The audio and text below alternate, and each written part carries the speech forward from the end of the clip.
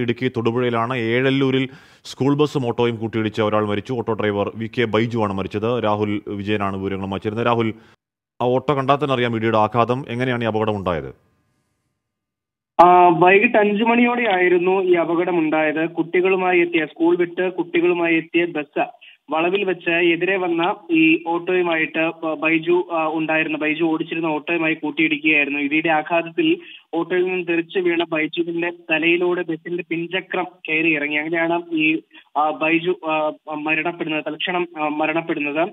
ഇപ്പോഴെന്തായാലും police സ്ഥലത്തെത്തി തുടർ നടപടികൾ സ്വീകരിച്ച് വാഹനം ഉൾപ്പെടെ അവിടുന്ന് മാറ്റിയിട്ടുണ്ട്. ഈ വണ്ടിയിലുണ്ടായിരുന്ന അതായത് ബസ്സിലുണ്ടായിരുന്ന ആൾക്കും തന്നെ അപകടത്തിൽ പരിക്കില്ല എന്നുള്ളത് മറ്റൊരു ആശ്വാസമാണെങ്കിൽ കൂടിയും ഈ ഓട്ടോ ഡ്രൈവറുടെ മരണം അതായത് വീടിനോട് ചേർന്ന് തന്നെയാണ്. ഈ ഓട്ടോ ഡ്രൈവറുടെ വീടിന് തൊട്ടടുത്ത് വെച്ചാണ് ഇത്തരത്തിലൊരു അപകടം ഉണ്ടാകുന്നത്.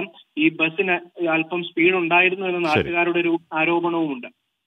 രാഹുൽ വിജയനാണ് വിവരങ്ങൾ നൽകിയത്.